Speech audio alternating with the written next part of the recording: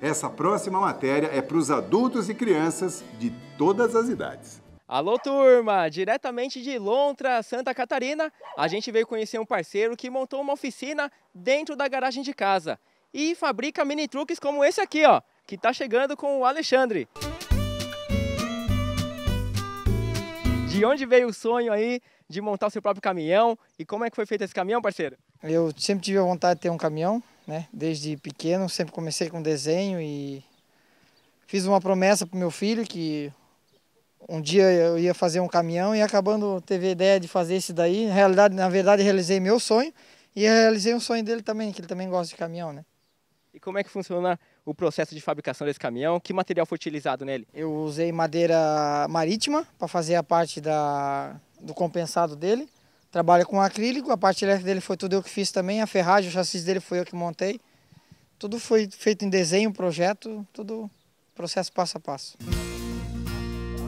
O trabalho foi totalmente manual. Cabine de madeira, chassi de ferro, motor de CG, trabalha com duas caixas, uma de moto e outra de Opala, diferencial de Chevette, tanque de gasolina para 20 litros, demorou dois anos para o mini truque ficar pronto. Eu saí por aí de madrugada, botava a carretinha atrás do carro, saía catando naqueles caixotes de lixo ferro, madeira que tinha, ia nessas oficinas de caminhão, que o que eu podia catar, eu catava e trazia para casa. E eu comecei a montar, montar, e minha mulher disse, o que tu vai fazer? Vou fazer um caminhão.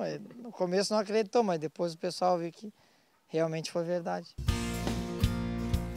Dentro do poçante de madeira marítima, rádio PX, teto solar, TV, aparelho de som, volante ajustável, vidros com manivela e um sofá como banco. O mini truck alcança uma velocidade de até 70 km por hora e tem capacidade para uma tonelada. Faz sucesso em feiras e eventos. Na placa simbólica, as iniciais com o nome do filho, Nicolas Eduardo Bongart, com a data de nascimento. Já te ofereceram um valor para você vender esse mini truck?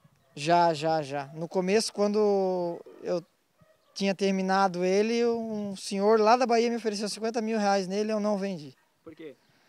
A paixão, né? A paixão, né? E assim, tem um valor sentimental também, né? E vai ficar pro meu filho, né? Uma lembrança do, do famoso maluco, né? O pai dele. A Lê já viajou o Brasil, mas atualmente roda só em Londras, com um caminhão coletor. Quando volta para casa, vai direto para a oficina. E é um caminhoneiro inventor mesmo, ó, porque essa máquina aí de serrar madeira, você mesmo que fez? Foi, foi eu que fiz. Peguei uma cadeira do jogo de mesa que da minha casa aqui, até minha mulher ficou brava comigo. Usei uma tampa de um rack, um motor de máquina antigo, certo? E eu, eu, na dificuldade que eu tinha, não poderia comprar uma serra dessa. Eu acabei inventando uma para me facilitar na corte do chassis das gabines.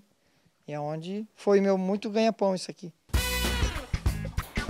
Além do mini truque, também faz miniaturas de todos os modelos e marcas. A produção é totalmente artesanal, só compra as rodinhas de plástico. A partir dos moldes, faz a cabine de madeira, baús que abrem portas e detalha todos os itens de um poçante. São necessários, em média, 40 dias para uma miniatura ficar pronta. A partir do momento começa pelo papel, né? Eu, eu, trabalho com a roda, daí eu pego a roda lá, coloco na, na lateral do papel, faço o desenho onde sai o molde. Aí, através do molde, eu tiro outra medida aqui e faço a frente do caminhão. E daí esses traços aqui, essas fisionomias, as características da, de cada gabine eu tenho na cabeça, né? Daí eu vou fazendo elas. Aí é um parâmetro que eu uso também, é feito chassis, tira a medida também, daí a pessoa escolhe ou com carroceria ou com baú. Isso aqui é uma carroceria que eu fiz, que ela está em fase de de construção. E tem um sistema de eixo também, de balancinho, que funciona assim, né? Ó, como se fosse um caminhão de verdade. E o parceiro não quer parar por aí. Eu tenho sonho em fazer um motorhome, um trailer na verdade, né? Para passear aí final de semana com a família, né? E curtir aí um pouco também, né? Wellington Rocama para o Brasil Caminhoneiro.